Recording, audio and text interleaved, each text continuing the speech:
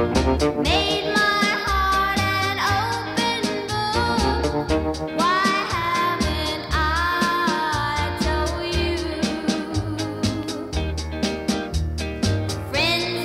here at the Groundlings Theater on Melrose Avenue, founded in 1974, I believe. This was their opening night for the season. It was our first event that we actually catered off premise, and it went fantastically.